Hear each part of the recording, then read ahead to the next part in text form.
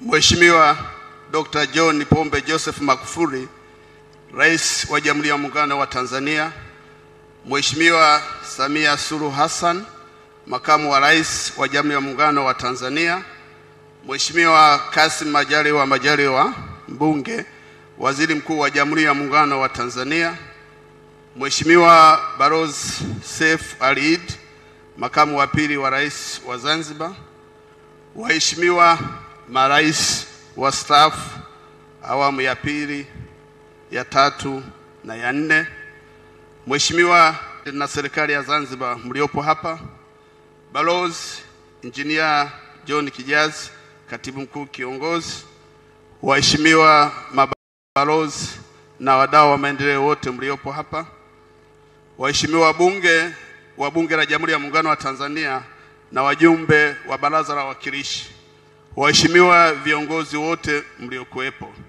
itifaki imezingatiwa kwa kuokoa muda. Mheshimiwa Rais, awali ya yote napenda kuchukua fursa hii kukushukuru sana kwa kukubali kutenga muda wako na kuja kushiriki nasi katika hafla hii ya uzinduzi wa kipindi cha pili cha awamu ya tatu ya mfuko wa maendeleo ya jamii TASAF. Mheshimiwa Rais, mfuko wa maendeleo ya jamii TASAF ulianzishwa na serikali ya Jamhuri ya Muungano wa Tanzania mwaka elfu mbili kwa ushirikiano na wadau mbalimbali wa maendeleo katika jitihada za kupunguza umaskini kwa kutumia dhana ya ushirikishwaji jamii. Programu ya TASAF imetekelezwa katika awamu tatu na imekuwa ikitekeleza miradi mbalimbali katika ngazi za jamii kwa lengo la kupunguza umaskini kwa msingi wa kutoa huduma za jamii katika sekta zote. Utekelezaji huo umekuwa ukizingatia mahitaji halisi au kero za wananchi wenyewe kwa kushirikiana na vyombo vingine vya serikali. Mheshimiwa Rais, awamu ya kwanza ya TASAF ilitekelezwa kwa miaka mitano kuanzia mwaka elfu mbili mpaka elfu mbili na tano. Ilijumuisha halmashauri arobaini za Tanzania bara pamoja na Unguja na Upemba kwa upande wa Tanzania Zanzibar. Jumla ya miradi 1704 yenye thamani ya shilingi bilioni 72 ilitekelezwa. Awamu ya pili ya TASAF ilianza kutekelezwa mwaka 2005 hadi 2013 na hii ilitekeleza katika halmashauri 126 za Tanzania bara na wilaya zote za Tanzania Zanzibar. Jumla ya miradi 12347 yenye thamani ya shilingi bilioni 430 ilitekelezwa. Mheshimiwa Rais, awamu ya tatu ya TASAF ndiyo inayotekelezwa sasa. Utekelezaji wa awamu hii ulianza Februari elfu mbili na kumi na unatarajia kukamilika mwaka elfu mbili na ishirini na tatu.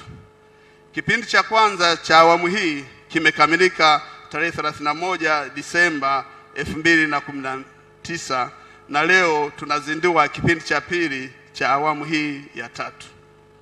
Katika kipindi cha kwanza cha awamu ya tatu kiasi cha shilingi trilioni trilioni moja point nne sita kimetumika ambapo utekelezaji wa mpango wa kunusuru kaya maskini umefanyika katika mamlaka za serikali za mitaa mia hamsini na tisa kwa Tanzania bara na kwa upande wa Zanzibar mpango ulitekelezwa katika wilaya zote. Mheshimiwa Rais, utekelezaji wa kipindi cha kwanza cha awamu ya tatu ya TASAF katika mpango wa kunusuru kaya maskini sana nchini ulijikita katika maeneo yafuatayo. Eneo la kwanza ilikuwa ni kutoa ruzuku kwa masharti kwa kaya maskini sana zenye watoto ili ziweze kupata huduma za elimu, afya na kuimarisha lishe na hivyo kujenga rasilimali watu. Mbili, kutoa ajira za muda kwa kaya maskini zenye watu wenye uwezo wa kufanya kazi wakati wa kipindi cha hari lean season, ni vipindi vya majanga mbalimbali, ndio walipewa hiyo miradi ili waweze kuongeza kipato. Tatu, kuongeza kipato kwa kaya maskini kupitia uwekaji akiba na shughuli za kiuchumi ili kuboresha maisha hizo kaya. Nne, kujenga na kuboresha miundombinu inayolenga sekta za elimu, afya na maji. na tano mwisho ilikuwa ni kujenga uwezo katika ngazi zote. Hapa ni kuwajengea uwezo utaratibu mzima wa shughuli za TASAF. Mheshimiwa Rais, utekelezaji wa kipindi cha kwanza cha awamu ya tatu ya TASAF katika mpango wa kunusuru kaya maskini kwa kushirikiana na wadau mbalimbali hapa nchini umekuwa na mafanikio makubwa. Kwa ufupi kama ifuatavyo: moja, zaidi ya kaya maskini sana milioni moja pointi moja zenye jumla ya watu milioni tano laki mbili na tisini na sita elfu mia nne sabini ziliandikishwa kwenye mpango na kupata ruzuku stahiki. Wanafunzi milioni moja laki nane na tano mia sita kumi na tatu kutoka kaya maskini waliandikishwa shule za msingi. Wanafunzi laki nne na arobaini na nane mia nne na tisa waliandikishwa shule za sekondari. Na mwaka jana ambayo mwaka elfu mbili na kumi na tisa tuna wanafunzi mia mbili sabini na saba waliomaliza kidato cha sita walipata mkopo katika bodi ya mikopo ya wanafunzi wa elimu ya juu kwa kujiunga na vyuo vikuu mbalimbali.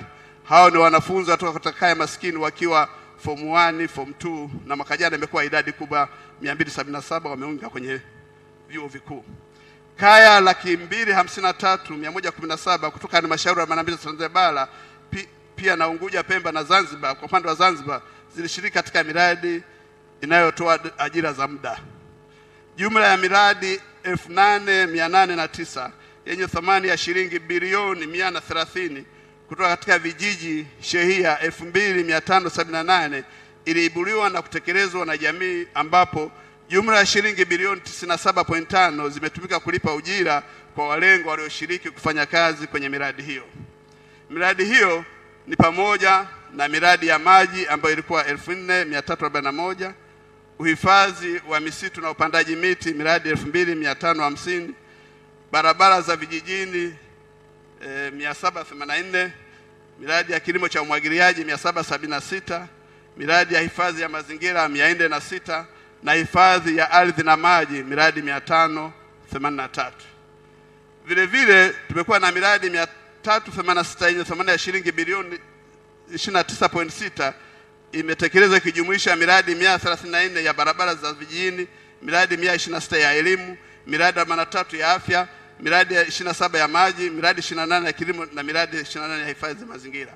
Mheshimiwa Rais, kutokana na utekelezaji wa miradi hiyo, wananchi wamenufaika kwa kupata barabara za vijijini zenye urefu wa kilomita elfu mbili na themanini na nane nukta moja, madarasa mia na ishirini na tano, nyumba za walimu tisini na tano, mabweni ya wanafunzi ishirini na mbili, matundu ya vyoo mia nne ishirini na moja, madawati elfu mbili mia nne tisini na nane, zahanati thelathini na tisa, nyumba za watumishi wa afya ishirini na saba mifereji ya umwagiliaji yenye urefu wa mita 66253, mabwawa ya maji yenye ujazo wa mita milioni saba na sabini elfu mia nne ishirini na tano kwa ajili ya matumizi ya binadamu na mifugo pamoja na uhifadhi wa mazingira na misitu kupitia upandaji wa miti ekari 39745.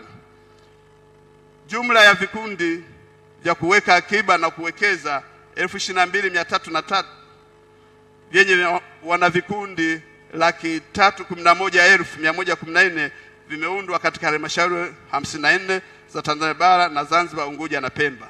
Vikundi vimeweza kukusanya akiba ya jumla ya zaidi ya shilingi bilioni 2.5 kukopeshana bilioni 1.6 wa vikundi vyao. wanaofikai wa TASAF wamefuga jumla ya ng'ombe elfu kumi na moja mia moja ishirini mbuzi milioni mbili laki saba na arobaini na tano elfu kuku elfu kumi na mbili milioni kumi na mbili na hamsini na tatu elfu na nguruwe laki saba na themanini moja mia nne. Aidha, miradi ya kilimo mia tano sitini na moja na miradi mia tatu ya biashara ndogo ndogo elfu tisini na moja mia saba na tano na imewasaidia kuongeza kipato cha kaya.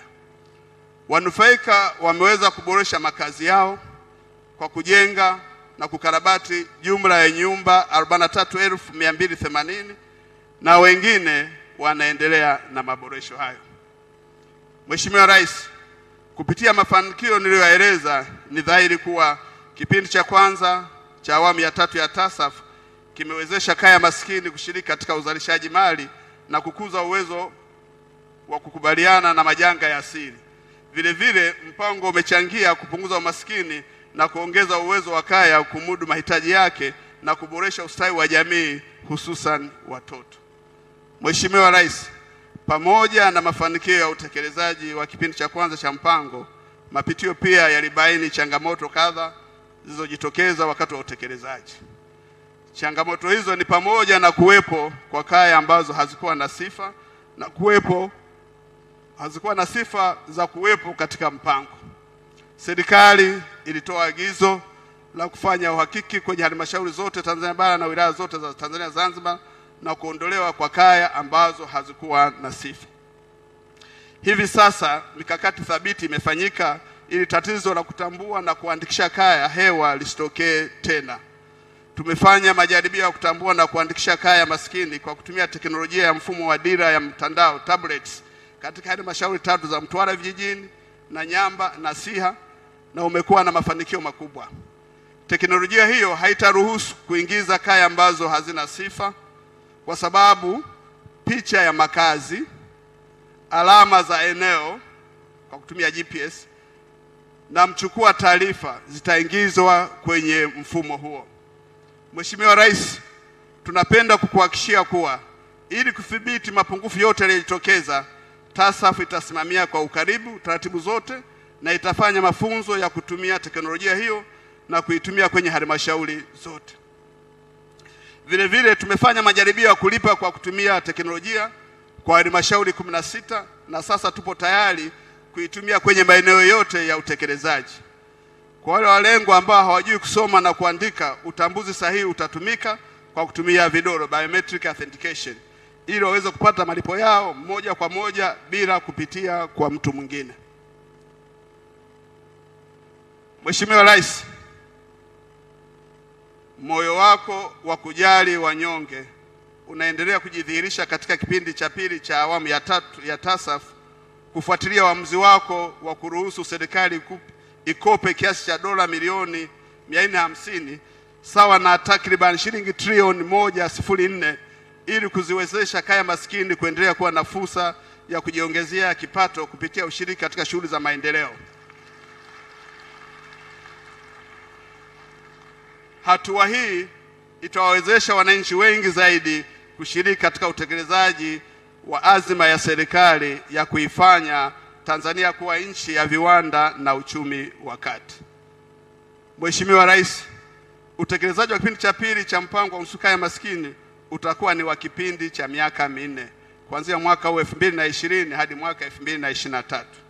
Utaratibu umeandaliwa kupanua wigo wa utekelezaji katika kipindi hiki cha pili ili kufikia asilimia thelathini ya vijiji, mitaa na shehia ambazo hazikufikiwa kwenye kipindi cha kwanza, na pia kaya maskini kwenye vijiji vya sasa zitatambuliwa na kuandikishwa.